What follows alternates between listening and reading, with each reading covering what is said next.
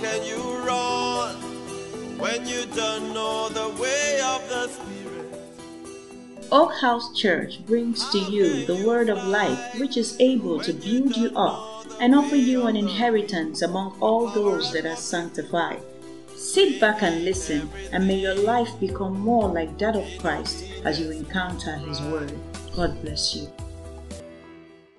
The Lord, let it fall upon us as a blanket today. Thank you. That today it will not be the word alone that will go for, but the spirit. The Bible says, The word that I speak to you, they are spirit and they are life. Thank you, Father. We receive your word and bless you in the name of Jesus. Amen. Hallelujah. Hallelujah. We may be seated quietly in the presence of the Lord. You're welcome to church this morning. We're grateful to the Lord for having kept us and brought us again today. Hallelujah. How many of us are grateful to the Lord for today? I am. I am. For so many things, I am grateful to the Lord. Today, we're going to be looking into the Word of God and we're going to be discussing a concept that is a recurring theme in the scripture. You know what a recurring theme is? A recurring theme is something that you know is constant. It's something that the Bible talks about. It is actually a theme in the scripture, and the Bible talks about it often. It's a recurring theme, especially in the New Testament. However, this particular concept is not a, in a, you would hardly see it talked about in the church. People hardly talk about it. It is amazing how many times Jesus constantly emphasized this concept. It is amazing how many times Paul, the apostle, constantly emphasized this particular concept. Yet, we hardly talk about it. We hardly refer to it at all in the scripture. We're going to take a look at it and trust God to open up a dimension of Him. And what concept am I talking about? It is a concept of being worthy of the kingdom of God throughout the scripture, you see Apostle Paul. I'm going to look at several examples. And you see Jesus. They were the two forerunners and the one that were pushing this concept of being worthy of the kingdom of heaven or worthy of the kingdom of God. The big question is are you worthy of the kingdom? Because the impression that we have I don't know whether impression can maybe because of the preaching or whatever it is. The impression that we have is that God is sitting in heaven, he's anxious, he's shaking his hand and saying, Oh God, I hope these people will accept the message. Oh, I really hope they'll accept the message. If that is the only concept you have of God and the kingdom and heaven and, and eternity, what would happen to you? What you would have observed is that you're going to be doing three days on in God, one day off. Five days on, 29 days off, you're going to have a topsy-turvy Christianity because of the kind of impression that you think that heaven has, or the kind of impression that you have of God and things that have to do with eternity. So any slight pressure, you move back. Any slight pressure, you stop. I've seen people say, I'm not serving God again, or whatever it is. Or even when they don't verbalize that they are not serving God again, their actions say so, their heart says so. The kind of things that they do so you have a lot of up and down Christianity, and so very little growth. 20 years in Lord, 50 years, but very little growth. The question is why? It is because of the concept that we have of God. Maybe He's there, say, hey, God, oh, ah, please let this person come to heaven. Oh, God, I hope this person will listen to my message. That is one side of the picture. Jesus, being aware of this, gave us a balanced side of the scripture. Let's go to the Bible. Let's look at, um, let's take a look at Jesus' view first of all. Luke chapter 20. Jesus was trying to say, this age is about to come to an end. However, there are many that are not qualified to step into the next age. There are many that are not fit for the next age. If we read the story in Luke chapter 20, verse 34, Jesus replied, Jesus answered to them, the sons of this age they marry and are given in marriage. I'm reading from Luke 20, verse 34. Let's look at 35. He said, But those who are counted worthy to attain that age. What does that tell you? There are many that are not counted worthy of the next age. They are not fit for the next age with the Lord. He said, Those that are counted worthy for that age, the Bible says, in that time, they are not going to marry, they are not going to give in marriage, and all of that. But you see, the primary thing you take away from there is that Jesus is telling us that there are people that are not qualified to step into the next age with Him. Let's take a look at another scripture Luke chapter 9, verse 62. So the Bible says, And Jesus said to him, No one having put his hand on the plow That person is serving the Lord, working for Lord, and looking back is fit for the kingdom of God. What does that mean? Not everyone is fit for the kingdom. Let's use another adjective. Not everyone is qualified for the kingdom. I used to think every single person is qualified for the kingdom because Jesus has released his blood and XYZ. But it's very clear. And all these ones I'm reading are from the very lips of Jesus. For those who argue and say, well, certain parts of the scripture, uh, it was Apostle Paul that said it, and Apostle Paul doesn't really know what he's talking about. So I'm, I want to first of all look at the things that Jesus said concerning being fit for the kingdom. And you see how many times he said, I can't even read all the scriptures that Jesus was referring to this same thing. He said, if you put your hand on the plow and you look back, he said, you are not fit for the kingdom. And the thing is, even look back from what? So I'm going to give an example. Please, sir, come. Let me show you. Because in your mind, you feel, okay, if, I, if I, I put my hand, put your hand on the plow. You're, I mean, this is the plow. So you need to be looking at me as you put the plow. Now, I'm the, so you're putting your hand on the plow, okay. So his hand is on the plow and you look back. Look back. Did you see that his hand Okay, your own backsliding, God forbid, this is intense. Most people put their hand on the plow and then they look back. The Bible didn't tell us that they removed their hand from the plow. They only said they put their hand on the plow, but they looked away. They looked back, but their hand was still on the plow. So they were still in service. But like Lot's wife, they looked back. They looked back. They were no more on their assignment. They were no more pursuing Jesus with everything. The Bible said their hands were on the plow. They were ushered. They were in the choir. They were whatever it is. But the Bible said they looked back. They turned away from Jesus. The Bible said the moment a person does that, he's not fit. Please sit. He is not qualified for the kingdom of heaven. That you go born again, you are in the kingdom of God, you are serving. The Bible said there are still people who are not fit for the kingdom of God. Let's take a look at another one just in case one is saying, ah, How can? Luke 21, verse 36. Watch therefore and pray always that you may be counted worth worthy to escape. Again, you see that concept of being counted worthy counted worthy to escape all these things that will come to pass and to stand before the Son of Man. So there are people, and listen to who was Jesus talking to. He was talking to disciples. He said he was talking to them directly. He said, What therefore and pray always that you, he wasn't talking about the world, he wasn't talking about unbelievers. He said that you be counted worthy to escape all these things that will come to pass and stand before the Son of God. Meaning that there are people that though they are in the kingdom doing whatever it is they are doing, the Bible says if you don't pray, if you don't take certain steps, you will not be counted worthy to escape number one number two you will not be counted worthy to stand before the son of man not everybody will be counted worthy to stand before the son of man just in case you think, oh, don't worry, we can do whatever we like and we are counted. No. There is a counting worthy. No wonder Apostle Paul said, hey, I do all these things because I want to win Christ. I've always wondered, what are you what are you winning again in Christ? Jesus has already won you. Christ has won you. So why is Apostle Paul in Philippians chapter 3 saying again that I want to win Christ? Or put it put in another way in that Philippians chapter 3. He said, I want to be counted worthy of Christ. What's he talking about? Maybe I should look at one more scripture in Luke chapter. Uh, okay, let's take a look at some work in Matthew 10, Matthew 10, 37 and 38. Let's see what the scripture has there. I think I'll read that one and then we'll go over to the things that uh, Apostle Paul said. That's Matthew chapter 10, verse 37. Okay. So he said, He who loves father or mother more than me is not worthy of me. And he who loves son or daughter more than me is not worthy of me. Verse 38, he continues by saying, And he who does not take up his cross and follow after me is not worthy of me. So if your Christianity does not include taking up the cross, though you are in church, you are not counted worthy. Though you are in church, you are not counted qualified. Though you are giving your life to Christ, you are not counted qualified. Scripture, Jesus Christ, not another person. He said, and then when you now take up your cross, then you're going to follow after me. He said, if you do not do that, the Bible says, you are not worthy of me. Scripture, Bible. Let's move further into the New Testament. I'm going to read the ones from Apostle Paul. Reason being that some people say, well, some people argue foolishly and they say uh, Matthew, Mark, Luke, and John is not the New Testament because Jesus hadn't yet died. So let's do some work now in the New Testament. Let's take a look at what Apostle Paul said, Second Thessalonians chapter 1, verse 5. He said,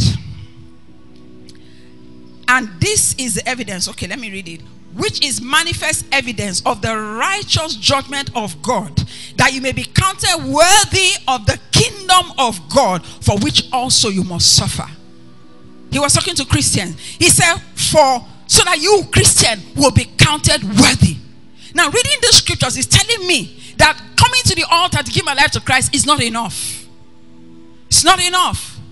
Because for whatever reason, that is how we are. The moment somebody gives his life to Christ, well, Jesus entered the person's life on the altar. The person feels, okay, yeah, by in the sweet, by and by. I'm going to make it. The Bible said, no, you still have something to do to be counted worthy. And we're going to understand what it means to be worthy. Okay, let's look do another walk in Ephesians chapter 4, verse 1. So you see, that's why I said it's a recurring theme. I can read scripture after scripture after scripture. Let's look uh, Ephesians chapter 4, verse 1. He said, I therefore, the prisoner of the Lord, beseech. What does beseech mean? What does besiege? Say again. Beg is light. Urge. Urge you. Another word um, like pressure, beg.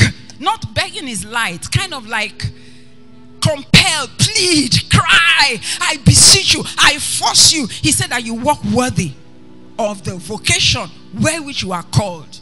Let's look at it in another translation. Maybe we'll have NLT or any other one. In case someone doesn't understand what vocation is, we'll just take a look at that scripture. Okay. Therefore, I, a prisoner for serving the Lord. So the reason this man was a prisoner is because he served the Lord. He said, beg you.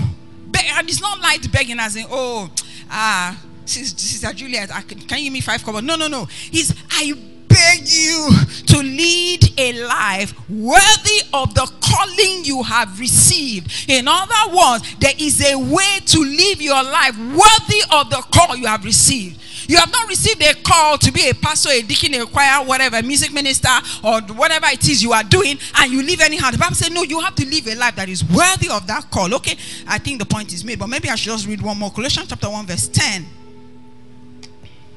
Colossians chapter 1, verse 10. It says, and we pray this in order. So Paul was making a certain prayer for the Colossian Christian, the Christians in Colossae. And he said, The reason I'm praying this is so that you may live a life worthy of the Lord. There is a life worthy of the Lord. There are certain things that if you do not do, the Bible says you are not qualified. You are not worthy. You are not fit for the kingdom. You are not fit for the next age. Not everybody that went to school is fit for a job at MTN. Not everybody that went to school is fit for a job at the United Nations. Not everybody that has a degree in uh, mathematics is fit to be a math teacher. There are other things they're going to take a look at. Now, that person will be foolish to assume because I have a degree in maths, that means I'm going to get the job. That is exactly how youths behave. They just assume because I've gone to school, I am qualified to get a job.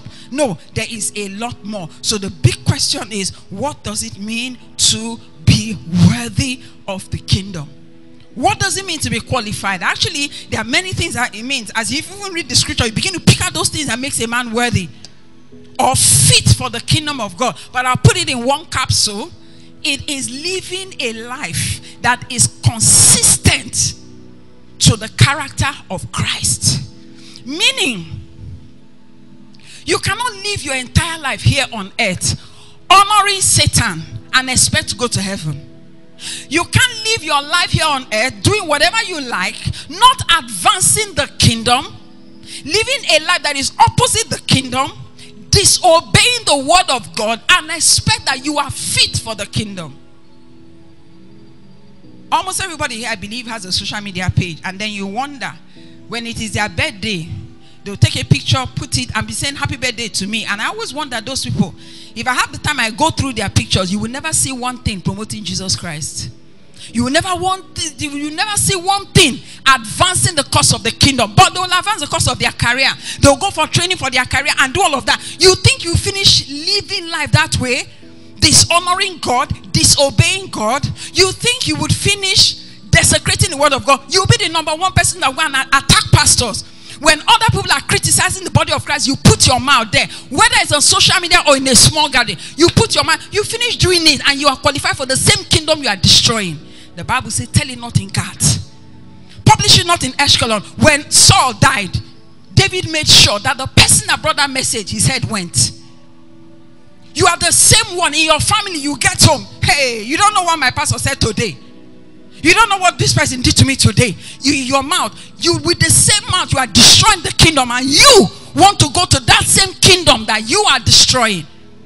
You do not advance the kingdom. You don't care about the kingdom. Your money doesn't go into the advancement of the kingdom. Your service doesn't go, and you want to go to that same kingdom. How are you planning to do that? You have never suffered for the kingdom. See what the Bible said. It was telling the Thessalonian Christian. He said, Because you are suffering, you are being counted worthy. You pay more attention to your physical boss. You pay more attention to your business. You pay more attention to everything else apart from it. You allow the kingdom to fall in your hand. An assignment is given to you and it slips through your hand, and yet you want to go to that same kingdom. How do you plan? The Bible says you are not fit. You can't. One day I had to ask the Lord, Hey, Lord, this heaven, don't you think that these things are a bit intense? Why can't you just give our lives to Christ and then we're qualified for heaven? He said, Ordinary your Aso Rock. Can you walk in there anyhow? Just physical Aso Rock. Your do you walk in there anyhow? The answer is no. Why do you think coming to heaven will be easier? He said, The road is narrow. It's something that you can't combine seeking the Lord and seeking anything else. That's why he said the only time you will find me is if you seek me with all of your heart. You can't give God half attention and expect to find him. You can't. You can't give God half attention and expect to be qualified for the kingdom. If you do a study on all those scriptures I mentioned, you begin to pick out the things. One of them he said to us in Luke, he said that if you do not take up your cross. What does it mean to take up your cross? This is what I'm going to pay. The price I'm paying for my commitment to for my commitment to Jesus. Sometimes it may mean the loss of your job. I went to preach in Asaba. One lady during the question and answer session on the Saturday morning, one lady came out and she said that, uh, Pastor, in her job, she has to tell a lot of lies on a daily basis. She's lying from morning till evening. On top of that, the job doesn't even give her time to come to church. I didn't. I said, so the question is, she said, I'm thinking if I should um, resign when I get on. I said, you don't understand. The job is a shovel you're using to dig your grave, and you are still asking whether you should wait until you get another job. Resign now, today. It is a cross you have to carry. You will go without a job for days, for weeks, for months. You'll be insulted. You'll be abused. There are some things you cannot wear. There are some things you cannot do. There are many things you are going to sacrifice. He said, You're going to take up your cross. If I ask you now, what cross are you carrying for your commitment to Jesus? What is the cross? What have you let go of because of your walk with Jesus? What have you let go? Oh, you don't have a cross and you are planning to go to the kingdom? You are joking. Paul said, In my body Look at the marks of Christ. Where are your marks? Where are your marks of Christ? If they are non existent, Jesus was very clear. He said, If anyone desires to come after me, let me explain something to you. The Lord was teaching me, he said, You know, a lot of time you verbalize things. Those things are not the answer. Those things are the intention. How do you put it now? Uh, uh, something of intent. Um, expression of intent. Let me explain. You know how we say, Oh God, I want to serve you. We think that that thing we are saying means that we now we are now going to serve God. Mm, God said it is an expression of intent. It is not what you do after that determines whether or not you want to serve me or not. So the scripture that I read in Luke, where he said, "If anybody desires to come after me, you know, in worship, say, Oh God, I desire God." Uh-huh. You have stated intent. It is what you now do. He said, "Now that you have desire to come after me, step one, you are going to deny yourself. Meaning, it's no more about you. It has never been about you. You are going to count yourself as not important in the equation." It's not about you like it, you don't like it. It's not, ah, Pastor, my church is far. My grandmother said, my uncle said, my boss said. The Bible said you are going to deny yourself. The more you deny yourself, the more qualified you are for the kingdom. What have you denied in your pursuit of God? If you can't write it down, you want to think again about your Christianity and whether you are really fit. You want to think about it again. Issues of eternity are not to be taken lightly issues of the coming age are not to be taken lightly because the moment your days are over, the Bible says in the book of Job that there is a limit given to every man. He said you can't exceed it. The moment the chapter closes, that's the end. It's over. It's final. You can't take the issues of eternity or the things that Jesus said around those lines casually. He said, So if you want to follow me, he said, then you're going to deny yourself, then you are going to take that your cross. Before you discuss following Jesus, following Jesus is step three. If you are following Jesus, yet you have not denied yourself and you have not taken up your cross, what does that mean? It means you are not following Jesus. You're following somebody else, you're not following Jesus. Because following Jesus is step three. Step one is what? You deny yourself. Step two, you take up your cross. Step three, you follow him. I have decided to follow Jesus.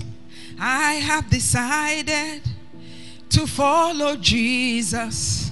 I have decided to follow Jesus. No turning back. No turning back. You know, as simple as that song is, if you turn back, Jesus said, You are no more fit. You are no more fit.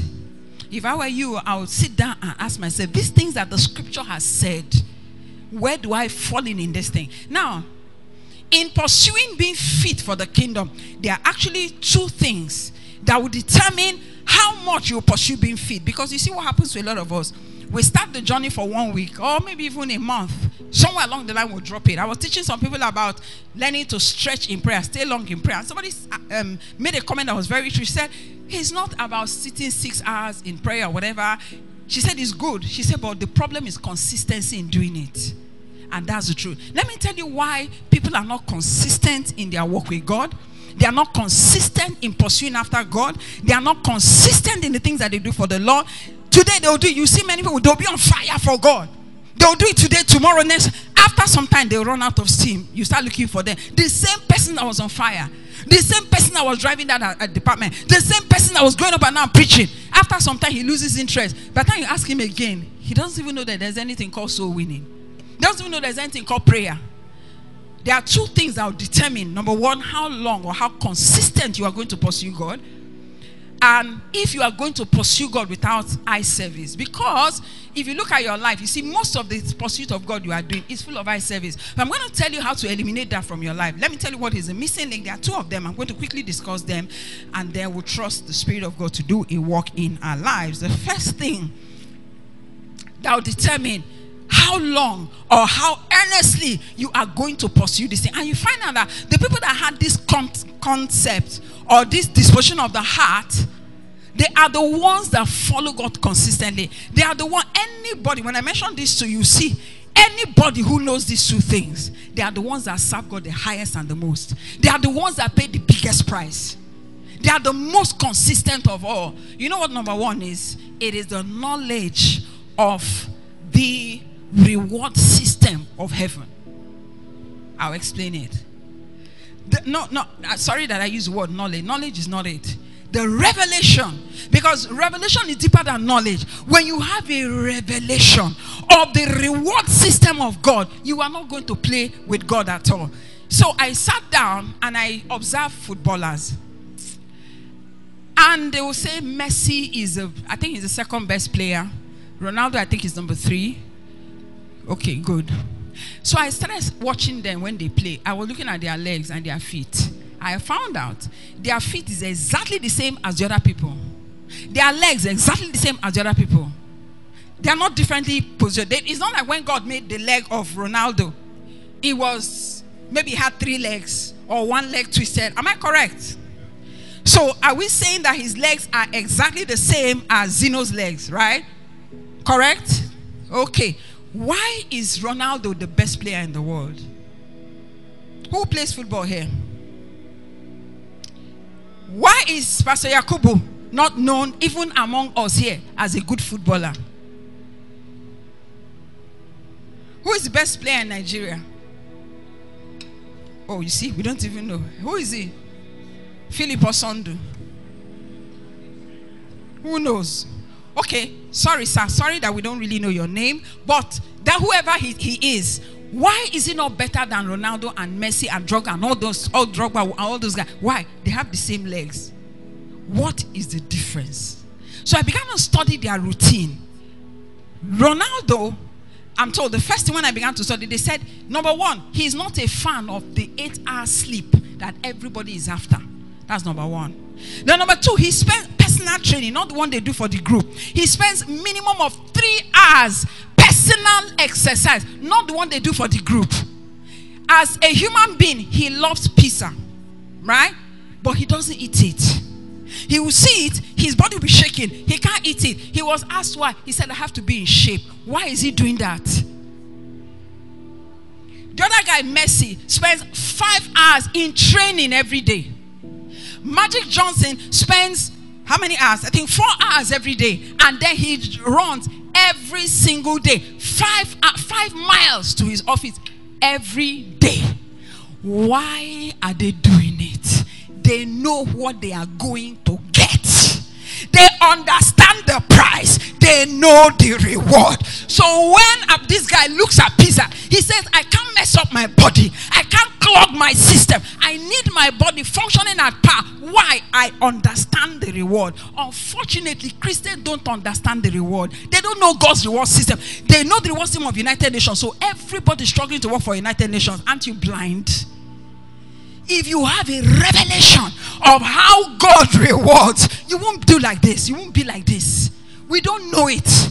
We do not have a revelation of the reward system. I was told about two brothers, two of them. They, they were told by God that they should go to um, France to go and preach.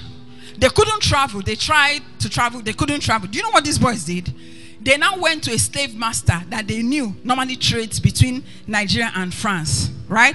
They went to him, they said, Come and buy us as slaves. Why? No, we just want to be bought as slaves. They sold themselves as slaves because they wanted to go to France to preach. They gave them the money, they gave it to charity. They entered as slaves, bound on a boat. They went to France to preach. If it's some of us who say, eh, if it's important to God, He should give us a He should make it easy for us. Why did they do that? They understand the reward system. That is why Paul said, Paul said, I labor more than you all. I labor. That's why Paul was writing in Hebrews chapter 6.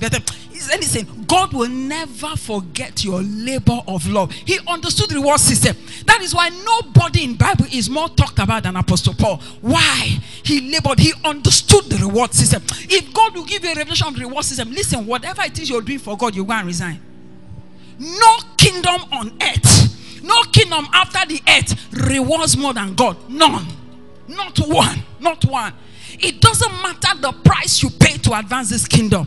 It's more than worth it. It is when we go to the other side, you will find out. And I began to cry, say, God, give me a revelation of your reward system. Because even me, I don't have it. If I do, I won't be like this. I was sharing with some people in, uh, I went for one of my mentees' wedding they're doing something that you know Yoruba thing. They were speaking and all of that, and I was sharing with them. I said, even me, I don't understand the reward system. They said, ah, Rev, we thought you've accomplished. I said, I don't, because if I do, I'd have gone to that stage, interrupted them, and said, excuse me, can I have five minutes of your time? Do you think they will listen? They will say, okay, because they want to know what what is the thing, right? And the person doing the wedding, dare not say, ah, Rev, keep quiet. Then I would have gone there and said, listen. All of you, if you are not saved, blah, blah, blah, blah, blah. It's because I don't understand was it. That's why I'm sitting out here. If I did, that's what I would have done. I said because Apostle Paul, one time they arrested him. They're going to throw him in jail. In fact, he was preaching and they were stoning him and all of that. The uproar became a lot. And you know what he did? He now, the, the, the governor, whatever, called and they arrested Apostle Paul to take him inside. Paul said, Excuse me, I have something to say. I have something to say. So the first time I read it, my thought process was Paul will now start defending himself. Guess what? When Paul opened his mouth to speak, Paul said, Brethren, some days ago, you crucified a man called Jesus. Da, da, da, da, da. He began to preach again. Why? Paul said, Let me add one small crown again today. Let me add a small badge today. Let me do something else so that I am fit for the kingdom of heaven. Because he understood the reward system. You don't understand the reward system. That's why you're playing with your walk with God. And then you are playing with your work with God, you are not advancing the same kingdom that you want to go to. How? If you don't have a part in it, you're not going there. If you don't have a part in it when you are in time, you will not have a part in it when you are in eternity. How do I know? Jesus called the feast, or Jesus was saying, The kingdom of heaven is like a man who prepared a, a, wedding banquet for his friends. And so he told his servants, Go into the street and go and call people. And what happened? The Bible said that those people they refused to come. And the king sent them again, said, Go, go and talk to them about coming. The Bible says one went to his field, the other went to his business. And the king said, I've invited them to come, but they are not worthy. They are not worthy. They are not worthy. Why did Jesus say they are not worthy? The reason is simple. They did not advance the kingdom in time. They did not commit to the kingdom in time. They had no stake in the kingdom in time. They are not going to have it in eternity. And I observed something. The Bible says one went to his field, the other went to his business. Is there a problem with the field? No. Is there a problem with the business? No. Legitimate reasons why people ignore the call for the marriage feast. And Jesus said, because of that, He said, the people I told to come, they are not qualified. He said, now go and bring another set of people. And then they went and brought people in. And Jesus said, there are people that I'm inviting every day. They are not worthy. They are not worthy at all. So I'm asking myself, how fit am I for the kingdom? I told you there's one, and I told you that there's a second one that would help you to be able to. Because the moment you understand the reward system, do you know wh- what's the best paying organization in the whole world? Who knows what it is? Who knows? Okay. Let's assume it's United Nations, right? the highest they can give you is money. Correct? Is there another thing after that? Money. The highest they can give you is what again? A house. The best they can do is build a stadium with your name on it. That's the best, and that's it. They finish giving you that thing, you close your eyes in death, it ends there. Even those your clothes. Hmm? The best, for instance, if you're a military man, when they are burying you, they'll do you 21 gun salute. They fold your uniform, put it on your casket. Oh, a great soldier is gone. Then they'll shoot 21 salute for you, and everybody will be sad. That's the end. But the reward they give in heaven, eh? Let's not discuss the crown. Let's not discuss the honor. Somebody had a vision, he went to heaven, and when he went to heaven, he saw the marriage feast had been prepared and all of that. And he saw one particular seat well decorated. He had the vision, was really, really decorated and all of that. And so he asked the angel that was showing him around, he said, Is this place, ah, this particular place is more decorated than any other place? And they said, Yes, this place is for brother Paul. They don't call him Apostle Paul, it's you and I call him Apostle Paul. He said, It's for brother Paul. He said, Why? He said, No other person suffered for the kingdom more than Apostle Paul. No other person. No other person. And so his reward is higher than any other person. Do you know that you and I are some of our ancestors were burned on the stake for this gospel? They were put, they were burnt. Some were thrown into the lion's den. Are we going to the same heaven with these people? Do you think that God is unfair and unjust? You just because somebody insulted you, you get angry, you will not even come to church. Someone told me that she's not coming to church because somebody annoyed her in the church. Or somebody annoyed him in the church. It was a man. He said he's not coming because somebody annoyed him. I said, wait, did that person die for you? No. So when you stand before Jesus, you're going to tell him the reason why you didn't come to church. I can't even repeat this sentence. Can you can't you see how you are even sounding? Are you all right? Because we are blind to the reward system of it. We think we're doing it for Pastor Fred. We think we're doing it for church. You think we're doing it for Pastor whoever in your department. You think that's what you're doing. You think the reward is here. God rewards in time and rewards in eternity. Nobody can outgive God. Nobody. Nobody. Nobody can outgive God. Nobody can reward more than God. If you have a revelation of the reward system, when you come to church, you are coming by six, and it's not that you're coming to be looking around. You're coming to say, What can I do? What can I do for God? Because you know, for every labor is adding to your reward. For everything you drop is adding to your reward in heaven. It's making you worthy. But when today you are there, next tomorrow, you give one billion excuses why you will not be committed, why you will not do what you're supposed to do. But you are doing all of that for Caesar. You see that Caesar you are serving, eh?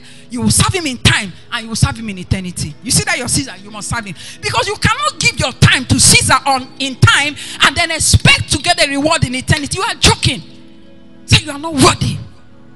January, this is May. If they call your report card now, what will be written there? Things that have weight, oh, not funny, funny things. Things of eternal value. How has your life counted for this kingdom? How have you pushed it forward? How have you gone without food and water? How have you trekked? What have you done to move it forward? but yet you are the one that demands the most from this same kingdom that you are destroying. You are the one demanding the most, but you are giving the least commitment, the least time. You are the biggest gossip, the one with the biggest malice, and you want to go there. The Bible says you are not fit. Will you make mistakes? Yes. But God will recognize the difference between a mistake and a lifestyle. God recognizes the difference. He knows when it is a mistake, He knows when it's a lifestyle. Somebody can say something that is not true as a mistake, another person says it as a lifestyle. Somebody can slander as a mistake, somebody can do it as a lifestyle. If it is your lifestyle, you are not fit. Do you get the difference? And guess who knows? God knows. Let's quickly take a look at the second reason or the second thing that will determine um, how far you go with in your pursuit for God. We're going to ask God, give me a revelation, Lord, of the reward system because I don't have it. I don't, I don't, I don't, I don't. Help me to know, help me to know it. The second thing is the spirit of urgency. The spirit of urgency. You see, this is what characterized the early church. They understood the urgency. So there are people that know, okay, God is going to reward, but let's next year, next month, 15 years' time, three days later, tomorrow. And that was why you are not worthy if you are postponing it. Do you know how I know you're not worthy? Because Matthew 25, if you study the story of the virgins, now if you analyze Matthew 25 from verse 1 to 11, you find something about the virgins. They, their plan in verse 1 was to get up. The Bible said, The kingdom of heaven shall be likened to 10 virgins who took their lamps and went out to meet the bridegroom. So their thought process was their thought process was to get up and go and meet the bridegroom, correct? They wanted to go to heaven. So what was the problem? Everything about the wise were exactly like the foolish. Every single thing. The Bible said there was a time they all slumbered, there was a time they all slept, there was a time everything was the same. One difference was that the wise virgin had extra oil the foolish virgins had oil, so they were anointed. Just like the foolish, the, the wise of were anointed. What was the difference? Verse 10 tells us what the difference was. Let's look at it. Uh, Matthew 25, I think verse 10. Okay, good. While they went to buy, what are they going to buy? Oil. Now, this scripture is telling me that the foolish virgins desired oil. It's not that they didn't desire, they desired oil, number one. Number two, they knew where to buy oil. So, what was the problem that made them unfit for the kingdom? The Bible says, while they went to buy, the bridegroom came, and those that were ready went in with him to the wedding, and the door was shut. What was the problem with the foolish virgins? Timing, procrastination. They didn't have a sense of urgency.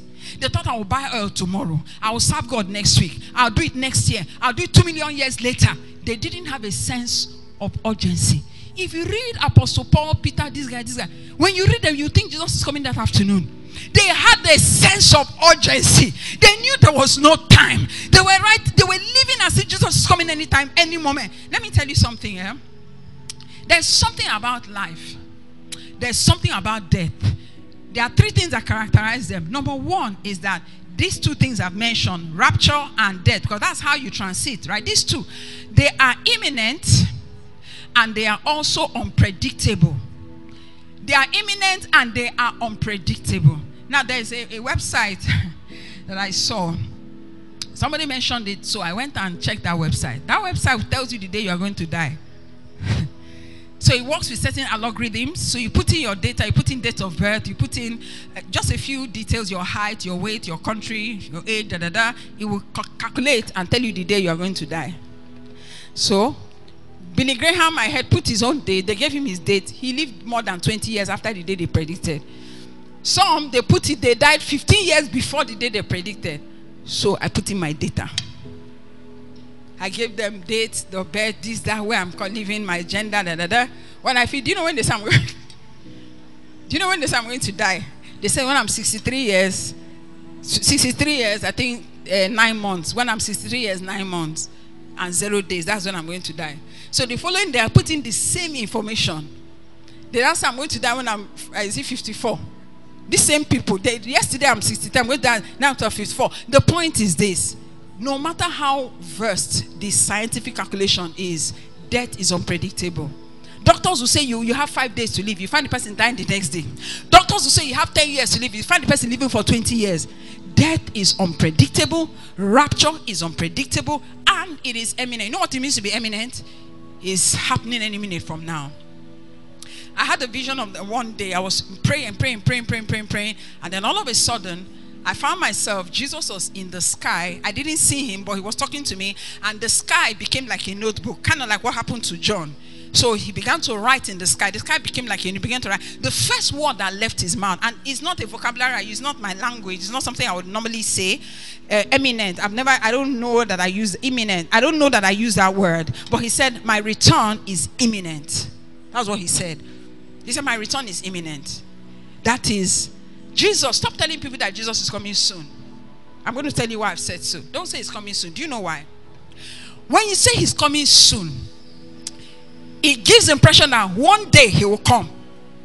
One day he will come. So because we keep saying Jesus is coming soon, soon meaning he's around the corner, but it's one day. Now, when you when that happens, yeah, so people say, okay, mm, he's coming soon.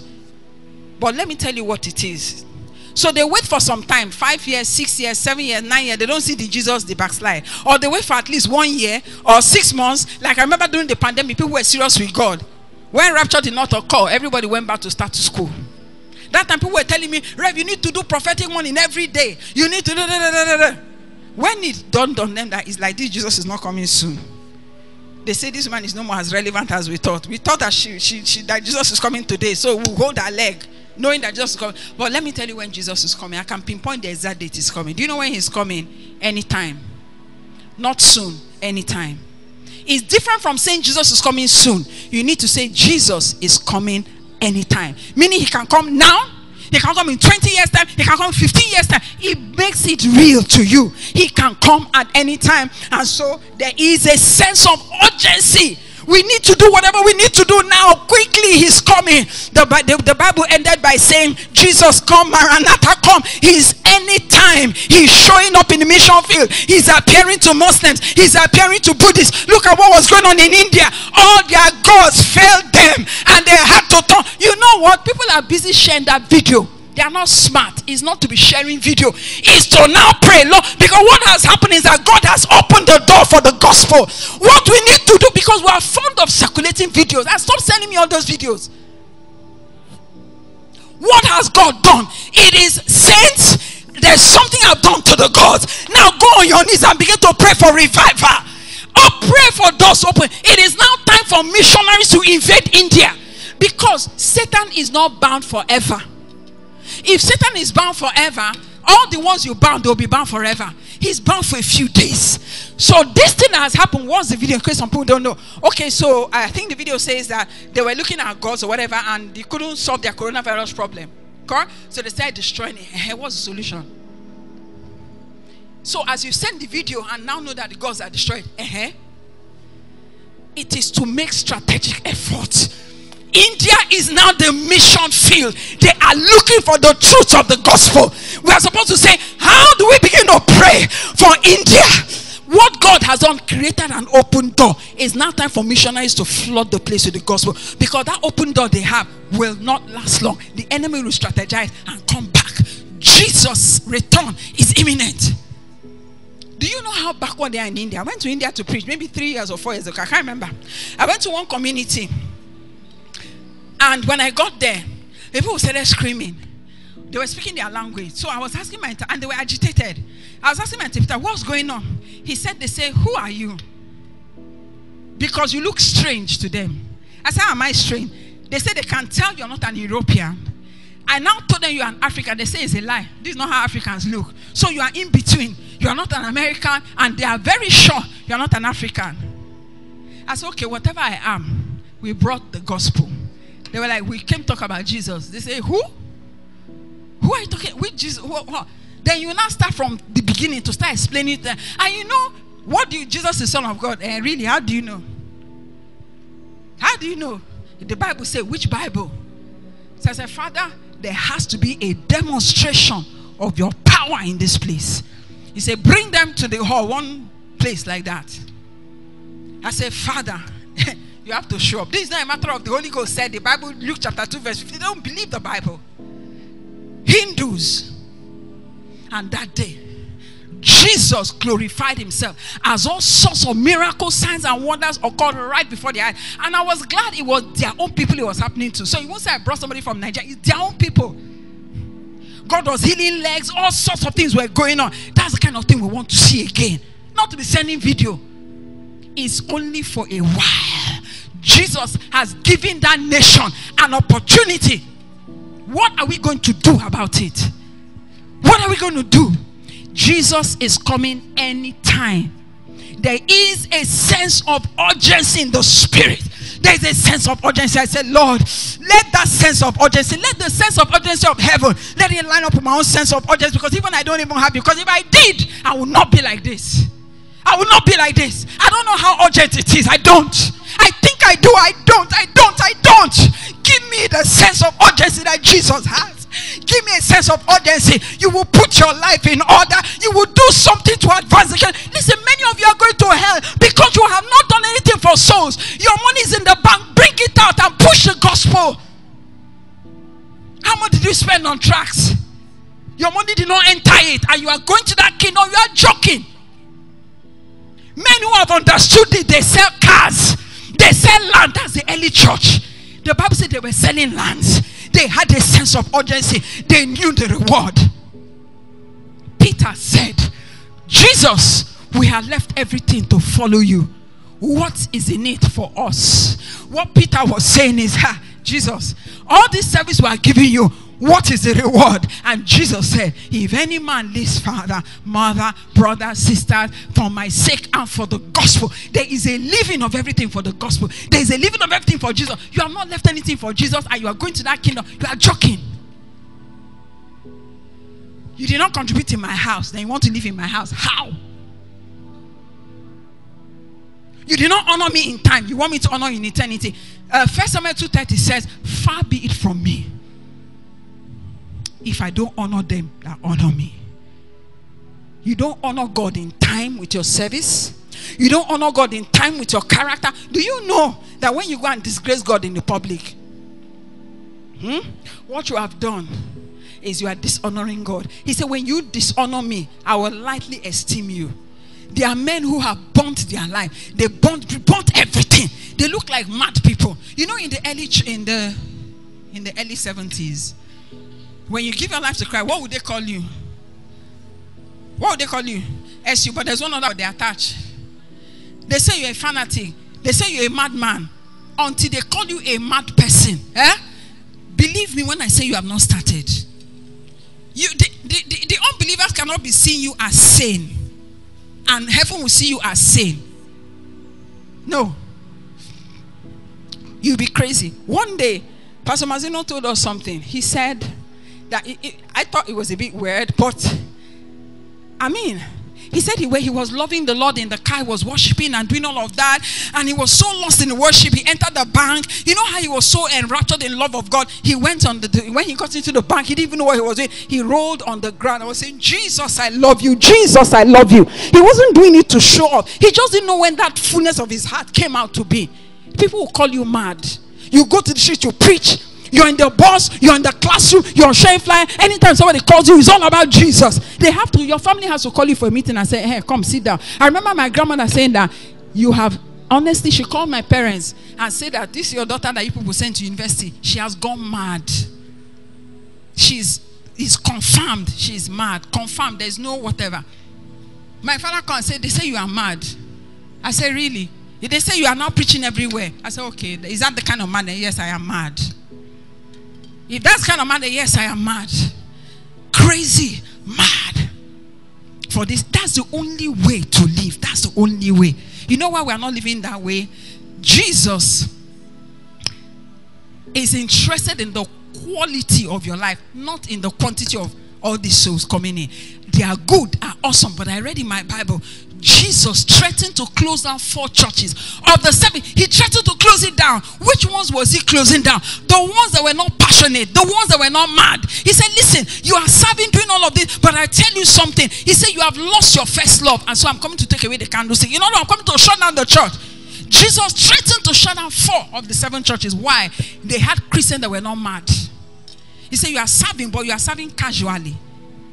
You are doing all of this, you are tolerating evil casually. Jesus said, When I see casuality in you, I will shut down that system.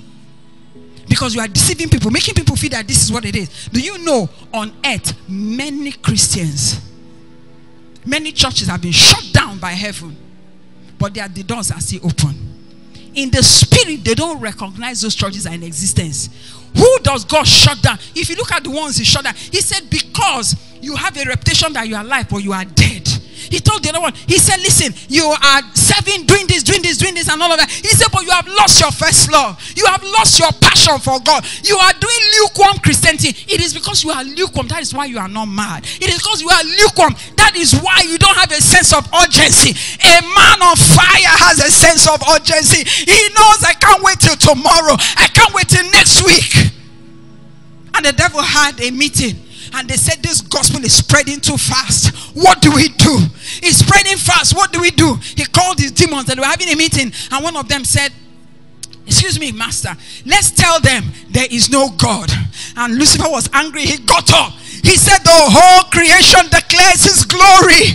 Everybody knows that there is a God. He said, The Christians will not be deceived by that. He said, A few, a few foolish people will believe there is no God, but all heaven declares the glory of God. Another one said, Hmm, let's tell them that there's no hell. He said, They know that, that there's consequence for every action, so you can't deceive too many of them like that. Then one that had been there, people were giving different, different, uh, whatever. Then one of them that had been at the back observing very quietly, he's called the demon of intelligence. He was observing quietly. He said, Excuse me, I want to make a comment. That demon is resident in Europe. He said, I want to make a comment. And Satan said, Yes, go ahead. Uh, any comment now will do. Go ahead, but make it reasonable. He said, Yes. We're going to go to the whole earth. We are going to tell them there is God. Are you mad? We're trying to stop the spread of the gospel. He said, Hold on, Satan. I'm coming somewhere. We're going to tell them that there's heaven. Are you crazy? That's exactly what we don't want them to know. He said, I'm coming. We're going to tell them that there's hell. He said, In fact, tie him and throw him into hellfire. He said, Hold on, give me one more minute. We'll tell them that there's God. We'll tell them there's heaven. We'll tell them there's hell. But we're going to add one more thing. We're going to tell them that there's time. We're going to tell them that there's time. We're going to tell them that there's time. They can serve God tomorrow. They can be on fire when they are 16. They can be on fire when they are 40. There's always something to keep them from being on fire. Tell them it is tomorrow. Tell them next week. But never today. Never today. Today is not the time. And Satan said, Wow, now I command every demon in hell go throughout the world and begin to whisper to every ear, There is time, there is time, there is time, there is time. And they have succeeded. You have heard the whisper and you have believed there is time. There is no time. None. None. Yesterday, the lady I was with, she told me of her friend who bought this Jeep, whatever, I forgot what they call it. She bought it. She died. She didn't enter for one day. Coronavirus took her out. And she said another of her friend built a bought a house in Lekki. Coronavirus took him out. He didn't step in for one day. He had plans. She had plans. She thought there was time. There's no time. The reason you believe there is time is because you are not on fire. You are cold you are lukewarm. A man on fire. Would you can you imagine you're on fire? And they'll say the there's no water in Lagos State. Then you say, okay, there's no water in Lagos State. It's not my fault I'm on fire. There's no water in Lagos State. Okay, let's put on the TV. Is that your attitude? When you're on fire, whether there's water, there's no water, you go and find water while you are desperate. Brethren, we are blind. They've lied to us. There's time. You think you live to 80? You don't have. You don't know. James 4 says, Who thinks you God didn't guarantee tomorrow. Nobody knows when rapture will occur. Nobody knows when you will die. Your death is imminent. How do I know your death is coming soon? You can't live more than 100. So for the smallest baby in the house, add 100 to her. Is she up to one? The lady carrying um, daily. Is she up to one? Okay. So that's the smallest girl in this house. Add 100 to her years. Does she look to you like she live up to 100? The life expectancy even in this Nigeria is 40 something for men, 50 something for women.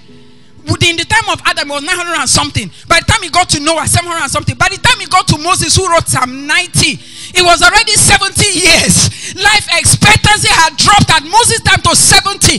Now, Google life expectancy for men in Nigeria. It is 40 something. So if you are above 40 Nigerian men, you have outlived your life expectancy. He's I mean, it can't reach 100 years. For many of you, you have lived for more than your life, and you have served God more than you have served Satan. You are 40, but 30 years used to serve Satan. You are 50, but 45 used to serve Satan.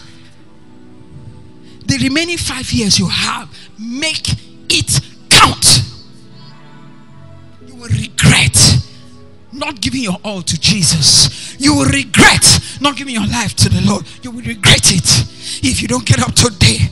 I want us to rise up and talk to God. Maybe you are lukewarm. That's why you think there is time when there is none.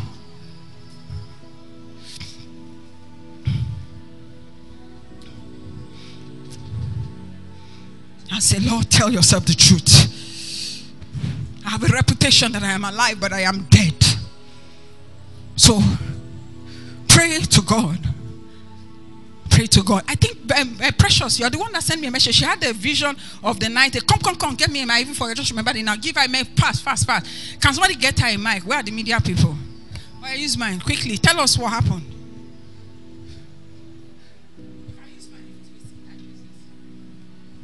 on Friday night or I can't remember the day. So I had a dream. It was like I was in Shakara with Rev. So she was talking to me and she said, she made a statement. She said, the Lord, the, she said, my Lord Jesus is coming. But the way she said it, she's made, she made it look like he was coming immediately, like that's that very um, sec, um, minute. So I asked her, Ma, how do you, why are you sounding like this? I said, Ma, why are you sounding like Jesus is coming now? And immediately she ran to, so we are sitting on that chair. Then she ran to a corner and raised her hand with so much joy. And she said, My Lord Jesus has come. And she said, um, The Holy Spirit is here to make sure you're taken.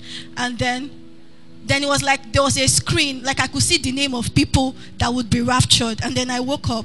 And then when I woke up, there was this scripture that came in my mind. I said, Blessed, blessed are the pure in heart, for they shall see God. So then I now shared it with you. That's, that's what Pastor was saying. If your heart is impure, where is Onome? You had something like that too. Is she here? I saw somebody like that. Come, you had something like that. You saw two tables, a lot of people, one line very small, another line again. I don't know. Jesus has done more than enough. Come, come, give, give, give, get, get her a mic. Blessed are the pure in heart. If your heart is full of crime, malice, anger, don't say next year. There is no time. He can come anytime. He can come anytime. Stop saying he's coming soon. He can come anytime. Use this if they are not ready. So I had a dream. In the dream, Pastor and Rev.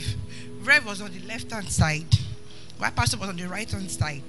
Then there were a lot of familiar faces that I could tell in Oak House Church that were on Rev's lane. So the Rev's queue was so long, and I was either there or here.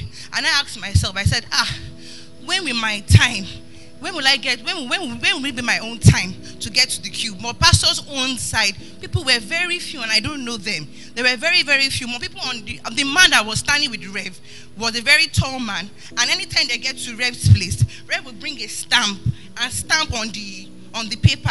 Then the man would tell them go to the other side. And I could see their faces. They were all crying. They were, they were really, really sad. But at pastor's own side, they were really calm and they were happy. But there were really few. But I could see a lot of faces in Oak House Church. But when I woke up, I couldn't remember their faces again.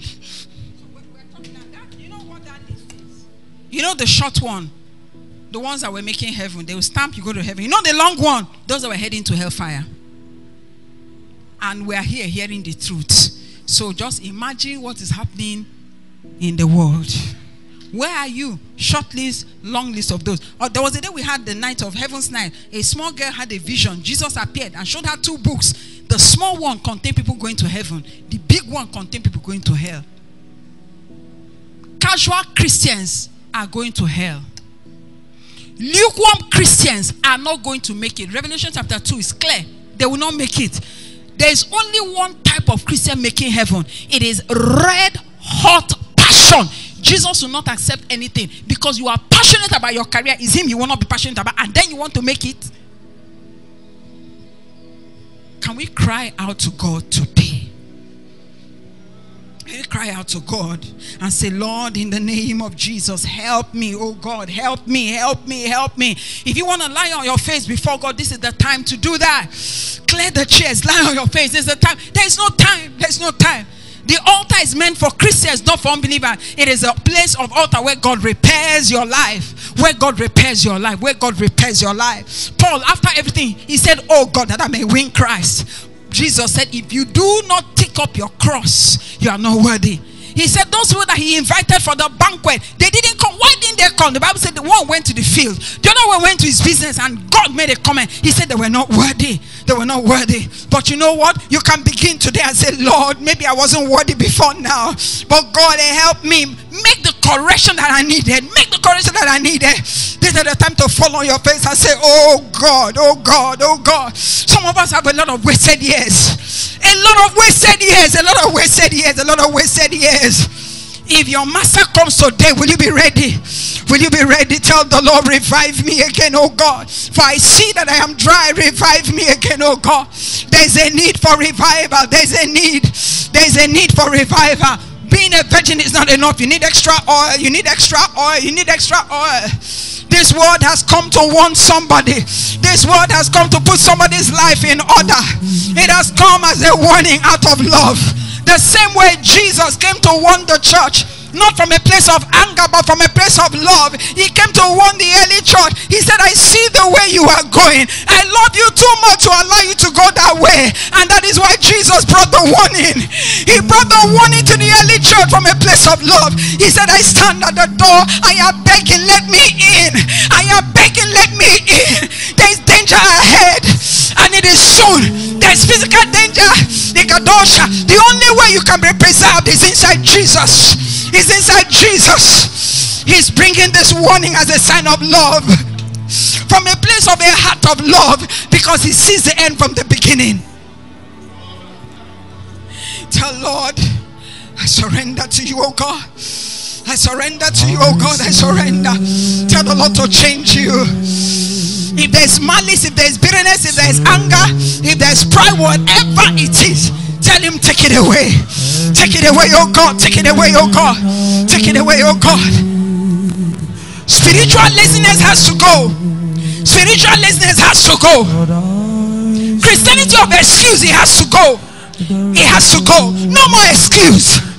Tell God, set my heart again on fire, oh God. Set this heart on fire. Set it on fire. Let me be radical again, oh God.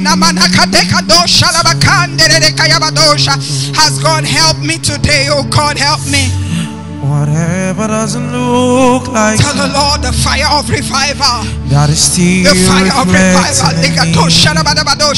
If you tell the Holy Ghost to set your hearts on fire, He will. He is the spirit of revival. He is the spirit of revival. He comes to turn you back to the Father. He has come to reintroduce you back to the Father. He's come everything that you have lost. He has come to restore. Oh, what a friend we have. Jesus, His return is anytime. His return is anytime. James chapter 4 says you are not guaranteed of tomorrow. You are not guaranteed of doing that business tomorrow. You that you are saying next week. You that you are saying next year. You that you are saying I will repent next month. This is the time. If for any reason you are not born again, you are not saved, or you are not sure that if Jesus returns, you will go to heaven. If you are not sure that your name is in the book of life, I want you to join me in front very quickly.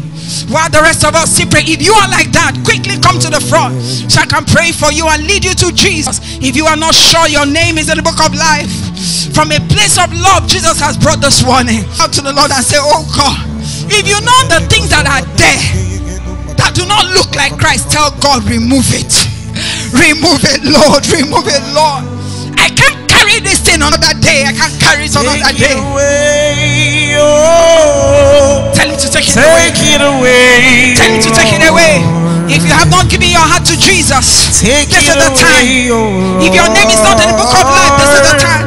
Join the front so I can pray with you. Look like you. Oh God, tell him take it away. Take it That away. is still reflecting in me. What are the things- That doesn't show What are the things holding you back? Tell him. Tell him take it away, oh God. That is magnifying yourself in me. Come forward. Take it away. Now I want you to pray. Take Tell the Lord to forgive you for what you have done wrong. Tell him, Lord, have mercy. Please Take forgive me. Please forgive me. I am so sorry. I am so sorry. I am so sorry. I am so sorry. Tell him to wash you with the blood of Jesus. Tell him to cleanse you from every unrighteousness. Tell him to write your name in the book of life. Tell him to be your Lord and Master. Tell him to hold you by the hand and make this journey with you. Declare that you are saved by the blood of Jesus. I declare I am saved by the blood of Jesus. Oh, Father, we thank you for this one. Let the miracle of regeneration occur, oh God. And I ask that you help her, oh God. Set her heart on fire from day one. Set her heart on fire from day one. Let her be an instrument that will burn. Thank you, oh God, that she will not go back. Why don't you tell the Lord, set my heart on fire? Wherever you are in the house, say, Lord, I am lukewarm. I am casual. I am cold. Oh God, I can't continue like this. I can't continue like this. I can't continue. Help me, Lord. Help me, help me, Lord. Help me, Lord. We wait. Set me on fire again. Remember where you are falling from. Remember where you are falling from. Ask for fresh fire. Ask for fresh fire. Ask for fresh fire. Tell him, Lord, I need fresh fire on my life. Tell him we I need fire. fire. Oh, we wait for your fire.